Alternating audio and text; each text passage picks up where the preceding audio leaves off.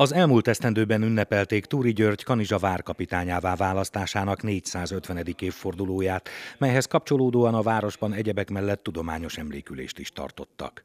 A Dunántúl oroszlányának is nevezett várkapitány egész életműve kiváló példaként állhat a mai kor embere előtt, ezért tiszteletére most történelmi szabad egyetemet szerveztek. A városunknak a történelmét ismerni, Túri György életét megismerni, úgy gondolom, hogy nagyon fontos. Sok minden mindent tudunk, de biztos, hogy nem eleget, és ezt tovább kell vinni. Úgy, ahogy az elmúlt esztendőben Túri emlékép volt, akkor is nagyon sokan vettünk ezen részt. Az előadás sorozatot egy pályázatnak köszönhetően rendezte meg a Nagykanizsai Városvédő Egyesület a Túri György Múzeummal és a Túri Vitézlő Oskolával együttműködve.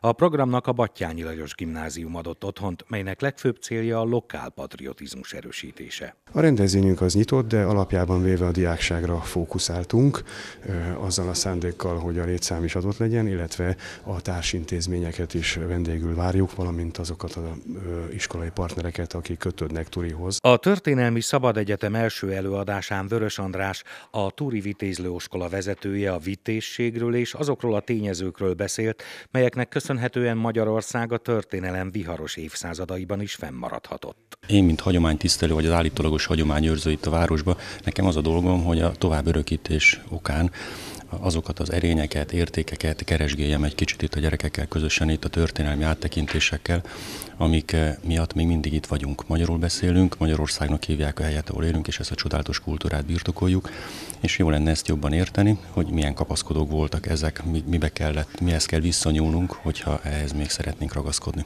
Az ismeretterjesztő programot legközelebb december 13-án szervezik meg újra, akkor az oszmán birodalom katonai, hatalmi rendszeréről, valamint Túri György életéről tartanak előadást.